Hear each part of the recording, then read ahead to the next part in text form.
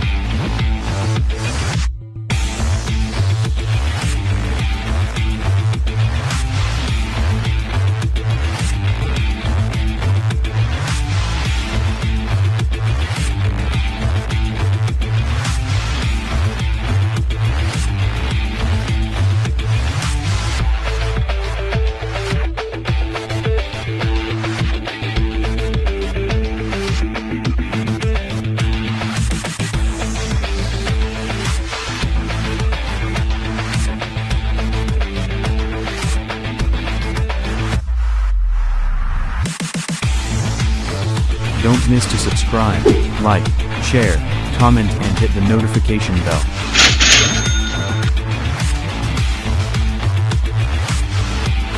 Lakers is really lucky to have Sekou Doumbouya in the lineup. He is best regarded as the Pascal Siakam version 2 due to similarity of playing style and size.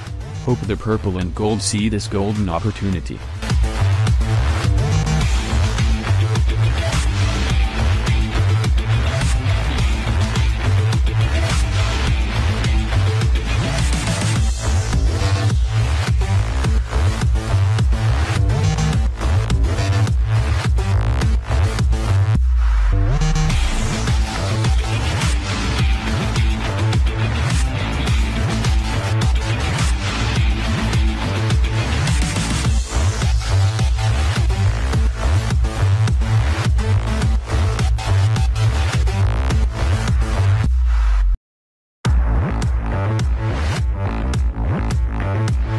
Lakers so lucky after adding Sekou Doumbouya to the roster, though he just signed a two-way contract.